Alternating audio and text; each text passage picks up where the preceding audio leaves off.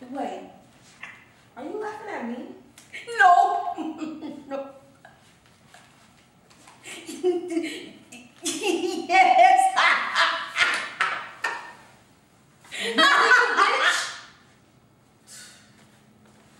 Mark!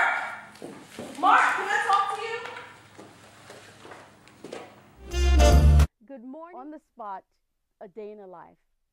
In addition to two fabulous guests, later in the show, we'll show we'll give you an update on what's new at the Chabot College Student Health and Fitness Center and let you know if you really need that flu shot. How to tee off with Coach Garvin. And what the zombies are doing on Chabot College campus. Then later And now over to Khadijah Ford with the latest in entertainment. Ashton Kutcher has made headlines not once, not twice, but three times this week. His hit TV show, Two and a Half Men, slipped in the ratings, dropping third behind Dancing with the Stars. His alleged marriage woes were not um, eased this week, with the woman in question. Open tomorrow at 3. Yeah, I know.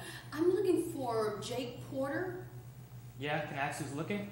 I'm with WSRX Radio, and we're just trying to confirm his business address so we can pick up his thousand dollar prize. Wow. I never won anything before. Hmm. Just goes to explain that someone put my name in there so I can win. You're Jake Porter. Yeah, that's me. So where's my thousand dollars? Where are you going?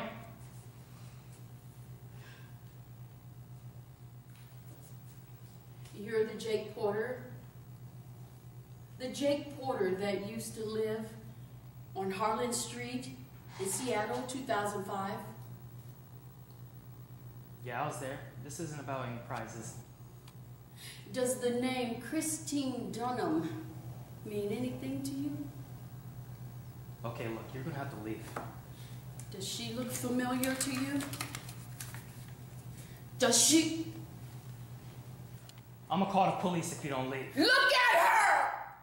A man by the name of Jack Kelsey is now in prison for the rape and murder of her. What does that have to do with me? You were there! Yeah, I was there. The police. You told the police you didn't even know her. You didn't know her. Jack Kelsey. Jack Kelsey still maintains his innocence, too. You know, I didn't believe him until I found Charlotte's diary and your name in it. You knew her! Are you sure you got the right Jake, um, Jake Porter? I do now. You know, you look just like Jack